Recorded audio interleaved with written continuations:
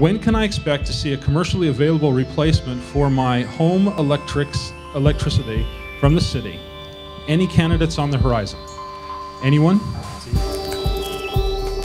When hell freezes over.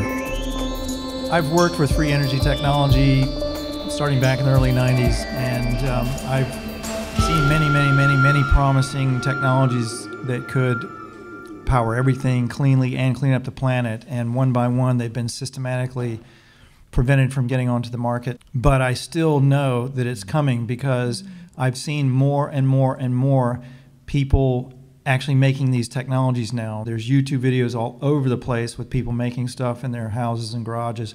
So I would think within the next 25 years that we're going to have I don't know about your city providing. I don't think there's going to be a city providing or a grid. I, I think it's going to be no grid.